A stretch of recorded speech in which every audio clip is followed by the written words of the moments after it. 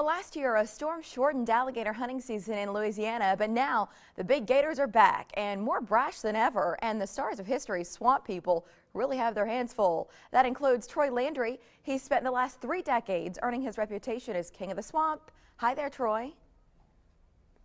Hey, good morning, Miss Mary. How you doing? Hey, we're doing great. It's so nice to see you. Uh, so are you back with Clint this season?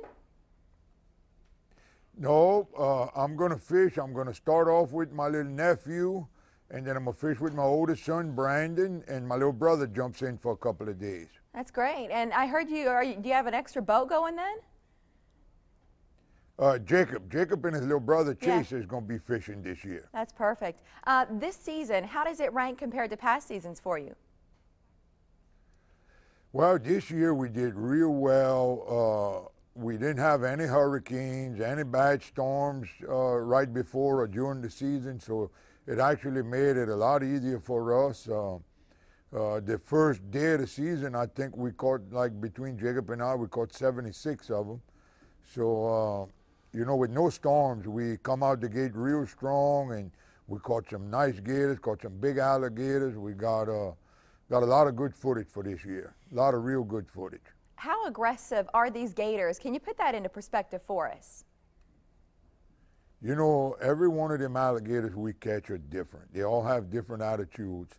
Some of them are like big sissies, there's nothing to them. and okay. others are so mean and they try to bite the boat. Well, they do bite the boat. They mm -hmm. try to bite you. Uh, some of them are real, real aggressive and real mean. You'd swear to God they have rabies or something. They're so, some of them are so mean. But uh, they're all different. Every Troy, one of them is different and until you pick up that line. You don't know what's don't on know. the other end. I don't mean to laugh, but you say some of the funniest things.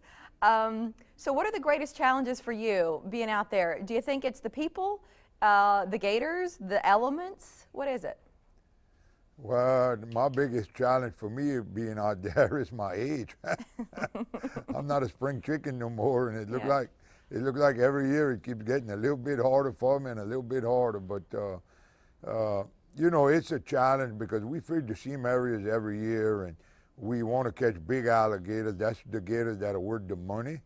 And it's nothing for me to go fill 500 tags and catch alligators like some of them other guys catch a lot of little baby ones. But I want to have a good average because that's what makes your money when you got big ones.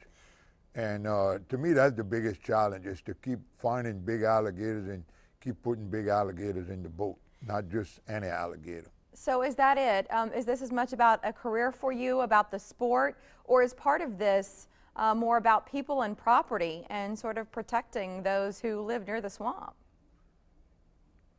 Well, uh, you know, I, I, make my living doing this. I pay my mm -hmm. bills with this. Uh, yeah. I've been doing it for years, long before swamp people came around, and uh, it's something we've always done, but it's a challenge. I enjoy doing it. Uh, it's nothing like catching a giant alligator. I, I, would think, you know, if you watch rodeo, you watch them guys ride them big bulls and big Brahma bulls and all that. Yeah. And catching a big alligator to me is like trying to hold on to one of them big Brahma bulls on a string.